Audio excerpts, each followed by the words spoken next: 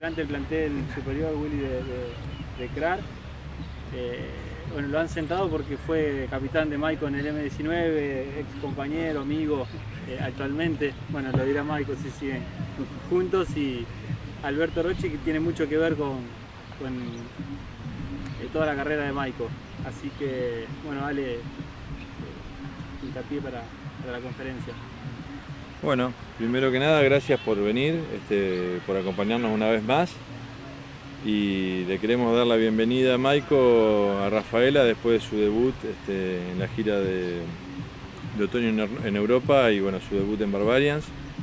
Para nosotros es un orgullo enorme, este, es emocionante y queríamos recibirlo en el club con todos los chicos de infantiles y bueno, y con la gente que lo ha acompañado desde el principio este, y que son los culpables de que él esté donde está. y bueno, obviamente él también es culpable, ¿no?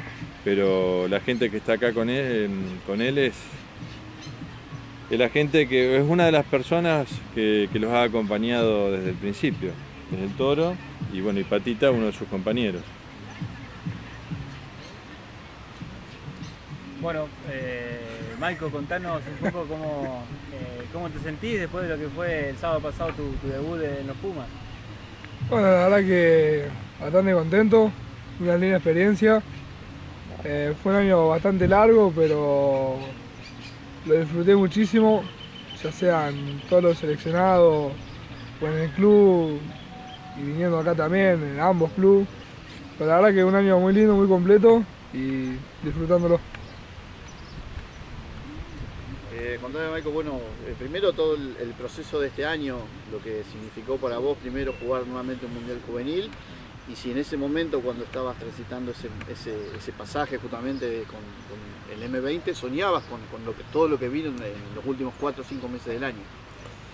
La verdad que jugar el Mundial Juvenil, volverlo a jugar este año lo disfruté mucho más, me sentí más, más cómodo, más seguro a mí mismo, en el equipo y todo. Y después no, no tenía mucha... Como que quería llegar a, los otros seleccionados, pero tampoco me tenía tanta fe, no, no sabía que me tenía muy bien visto y la verdad que me tomó medio por sorpresa, pero después cuando me llegó la noticia le metí pila y lo disfruté al máximo. ¿Por qué faltó este? Pregunto por, alguna cuestión en particular o...? ¿Por qué faltó cómo? Porque vos decías que no tenías por ahí fe de que te convocan. Y nada, pasa que un primera línea de 20 años es medio complicado que te llamen para un seleccionado siendo tan joven y más para una ventana como es la de noviembre, que son partidos muy duros y contra, contra equipos que por ahí los primera línea, yo si hubiese jugado el primer partido por ejemplo, Irlanda, los pilares que tenían, tenían más de 7 match cada uno y yo no tenía ni uno. más, más por eso. Michael, ¿por qué el rugby y a qué edad comenzaste? Porque era, porque era choto para el otro. Ah, eh, eh, era medio choto para el otro, era medio bruto y tenía el rugby. Tipo 10 años tenía más o menos. Y vine un día, me trajeron mis viejos. Me acuerdo que estaba lleno de mosquitos no me olvido más. Estaba lleno de mosquitos y jugábamos un juego que era de los aplausos. y, eso. ¿Y tuviste un receso de los 10 años hasta ahora? ¿Hiciste un parate? ¿Después volviste, retomaste? No, nunca dejé, pero siempre veo que por ahí, cuando era más chico, por ahí, no sé, tenía 13 o 12 años, por ahí un menos venía, pero nada de eso. ¿Y cuándo tuviste la suerte de encontrarte con, con Patita? Y en la M, M15, M16. Patita venía a jugar al fútbol y empezó rugby y ahí, ahí lo conocimos a Patita. Santiago, ¿y qué, significa para, bueno, para ustedes como, como ex compañeros de Maico de, todas las juveniles eh, este, este, momento que está viviendo él? Como es compañero y amigo es un orgullo, digamos, decir que nuestro amigo llegó a jugar en los Pumas o que esté jugando en los Pumas te alegra mucho y, sí tenemos mucha fe que va a llegar más arriba todavía.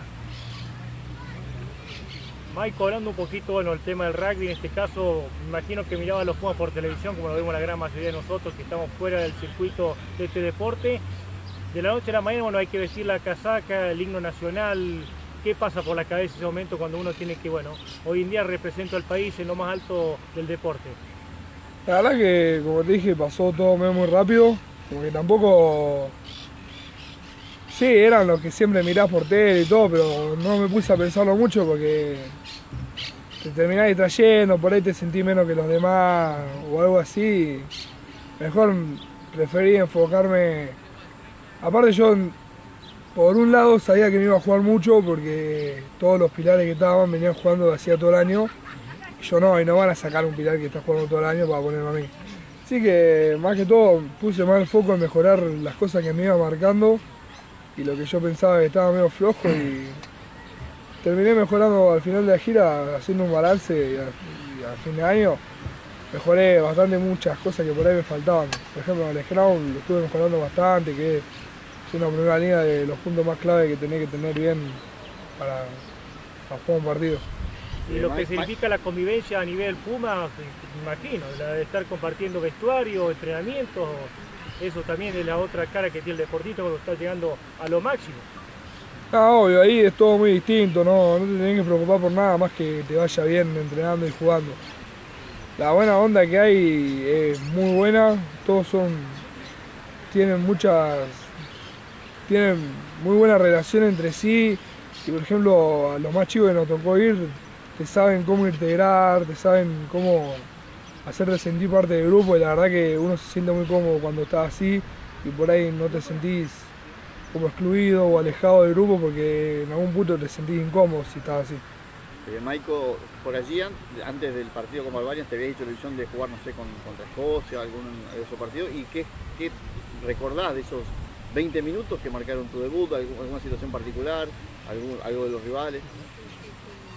No, la verdad que no pensé mucho porque entre más lo pensaba peor es, así que me sentía medio nervioso, bastante nervioso, poner yendo al estadio y todo, me sentía bastante mal, pero después dije, ya está, si me pongo a pensar en lo otro no tiene sentido y tampoco voy a cambiar nada, así que me puse a pensar en el partido y al fin y al cabo termina siendo rugby, a otro nivel y a otra cosa, pero, pero es rugby, ¿no? hay, no hay mucha ciencia para jugar rugby tampoco. Maiko, recién estuviste reunido con los infantiles. ¿Cuál fue el mensaje? Te preguntaban, cómo, vos le contaste la experiencia. ¿Cómo fue ese, ese encuentro? Ah, muy lindo. Siempre me gusta divertirme un rato. Pero la verdad que muy contento de estar con los chiquitos del club, jugando la tocata. Bien. ¿Qué mensaje le dejaría justamente a estos chicos de que todo se puede lograr, de que pueden perseverar y pueden llegar quizás hasta donde vos llegaste y que quizás ellos lo tienen en mente y te miran a vos ahora como el gran referente, ¿no? ¿Qué mensaje le dejaría? Y que tenés que tener los objetivos claros a veces, que tenés que saber lo que querés hacer y ir a buscarlo y tampoco ponerte un objetivo que diga sé, estar jugando en el club y de la nada querer jugar los Pumas, porque por ahí no se te da o vas teniendo traba y te vas bajoneando, más vale eh, tenés que ir dejando que pase todo y meterle la mejor cara y dar lo máximo y si llega, llega y si no llega, está tranquilo porque diste todo. Mike, este es un año, me imagino que en lo personal que no crees que se termine más. La verdad que este no lo repetiría porque lo pasé muy bien. Lo pasé muy bien las veces que venía acá con mis amigos, lo pasé muy bien en el Mundial Juvenil. Este año lo disfruté mucho más el Mundial Juvenil, Hubo, me sentía mucho más cómodo con todos los chicos, tenía como más, nos sentíamos más cómodos entre nosotros y todo, y después, bueno, todo lo demás que se fue dando más a fin de año. La verdad que muy buen año. ¿Y para el 2019? Y el 2019 es un año complicado, un año largo. Y yo ya ahora estoy para empezar la temporada con Jaguar y después si queda o no. Y si no, tenés que seguir jugando con el club y seguir entrenando hasta que te llegue la oportunidad. ¿El mundial, un sueño de que te mayores? Sería un sueño, pero hay que meterle para llegar a eso. Tito, eh, el hecho de que, bueno, lo que ha logrado Maiko, eh, vos estando siempre acompañando lo, lo que eran los inicios de él, llevándolos a los, a los diferentes entrenamientos con los seleccionados y demás, eh, es un aliciente, digo, para por ahí otros chicos del club que, que tengan esta posibilidad también el día de mañana. Sí, sea, llegar a esta distancia después de. Y especialmente para los chicos del club, porque algunos chicos del club quieren jugar en este club. Se nos fue rápido, no llegó a casi, era, casi pero sí, sí, indudablemente ayuda a todos, ayuda al club mismo. O sea, más allá que Michael llega después de Plaza, pero en realidad Michael es de acá, y, somos claros, Michael es de acá, nosotros tra- trataremos de captarlo de la mejor manera. Esto de traerlo ahora a que venga ese trabajo hoy tiene que ver con los chicos y donde apuntamos nosotros, o hacer fuertes las bases, que los chicos trabajen en este tema de, en su momento la charla ya contó la relación de cómo se llega, dónde se llega, es muy difícil, o sea, paso a paso lo importante y nosotros tenemos que fortalecer eh, eh, abajo para poder tener mejores jugadores en plantel superior y de hecho si sale oportunidades como esta se darán, pero el trabajo está al otro lado, está en, conseguir que el club sea más grande. Tito, bueno, la camada de Maico, ahí notaba, esto también a futuro, imagino cuando comienzan tantos chicos que han pasado por ustedes, que son los entrenadores que tiene el club, eh, ¿se imaginaba usted a corto plazo tener un Puma, a ver, eh, que representa No. el crack de Rafael hoy en día en la, selección argentina? Además, Maico debutó en mayoría en, en juveniles con 14, con 14 jugadores en cancha. O sea, no había muchos jugadores. Eran 14. Eran 14. Era 14. Y Maico era gordito. No era Maico de hoy. Eh, ¿qué, qué te lleva ahí? Es grande. O sea, el lograto acá es. Pero es como que en ese momento nadie ve eso. Nosotros queríamos mejor Maico, mejor Patita, eh, mejor Bomba, eh, el mejor de. Porque éramos 14 y, y terminó el año creo con 19, después de haber recuperado lo que decía Maico Santo, que iba un mes y volvía. Acá hay chicos que están un año y vuelven. Nosotros, eh, el Maico en 14 había sido un plantel bastante importante. Después se van algunos chicos, no arrancan. Y nosotros terminamos a fin de ese año con 19 chicos. El otro somos 22. Entonces, eso es lo que se busca. Y bueno, Maico es algo que va, lo decimos Maico porque es Maico hoy. Cualquier chico va por otro lado. o sea, que tenía condiciones, tenía tamaño físico, peso, tiene muy buen tacle, muy buena carrera para el peso que tiene. Fue a una suma de cosas, pero creo que la más importante fue, o sea, en esta, esta terminación de Maico hoy, eh, cuando él sube al seleccionado en 16, llegan 17, porque en 16 no había ido, llega 17. Y todo el trabajo de él eh, fue muy importante porque nunca aflojó, o sea, y lo más importante por ahí para todo que estuvo solo. Sea, arranca con Mateo Villar en los primeros dos partidos del año anterior del campeonato argentino, pero ya arranca enero solo.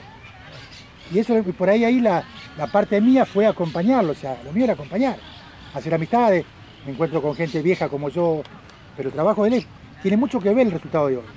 O sea, lo que se ve hoy es una, una que estamos aprovechando nosotros, pero lo que él dio en su momento, eso mejor no, nadie lo vio, era solo, ir a Santa Fe, volver, Santa Fe, volver, ir a Esperanza, venir a Dedo, eh, un montón de cosas que hizo solo.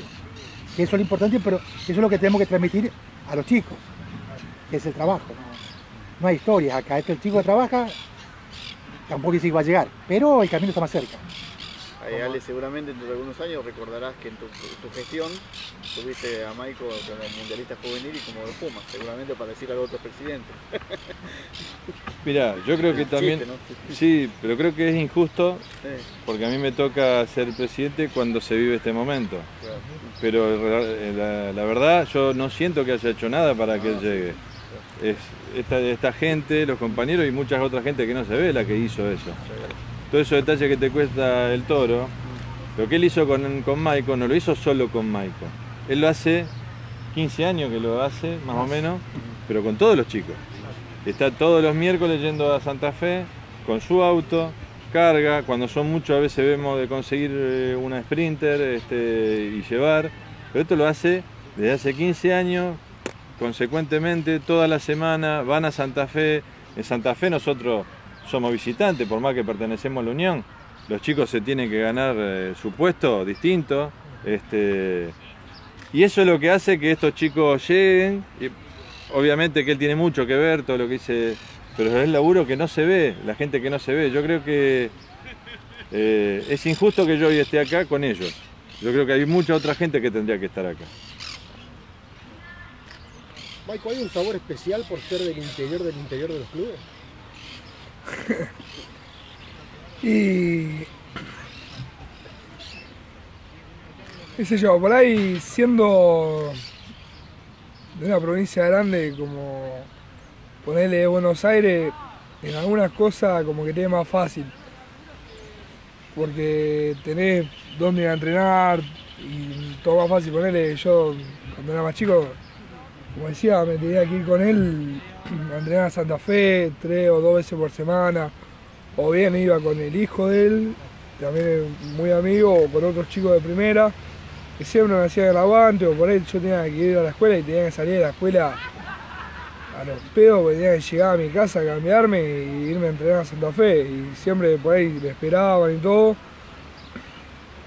Pero. Y después tener que irme a Santa Fe y después tener que irme a Rosario. Y en Rosario tener que arreglarte solo. Es bastante duro, pero se termina disfrutando porque si, si después se te da, es lindo ver todo el camino que hiciste y que dio resultado.